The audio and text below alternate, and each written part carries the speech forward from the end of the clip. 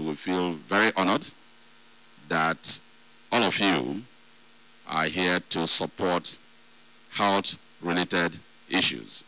The vision of the founding board, supported by Mr. Bill Gates, Alhaji Aliko, who's played a key leadership role, and other members of the board, I think is very important in mobilizing the private sector to help Nigeria actualize this effort. Imagine if we can collectively build a private sector engagement national map.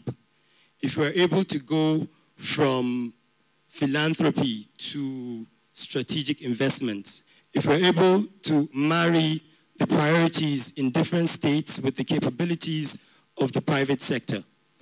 ICTs are a key part of the Saving 1 Million Lives initiative.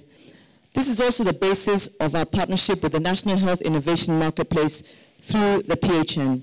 Congratulations for honoring our invitation to serve on this great steering uh, committee. I'm pleased to launch the 2014 Health Innovation Challenge and to formally declare that you know this will kick off in about 10 days time from today. The currency for assessing success in the healthcare system should be how many lives saved. And we thought that it provided a credible platform by which we could come together with other private sector companies and collaborate with the public sector and make a greater impact. We believe that with the problem statements that have been developed, as well as the online hackathon data sets that will be disclosed, that this will play an important role in ensuring that Nigeria leapfrogs in its quest to achieve the health-related MDGs by 2015 and beyond.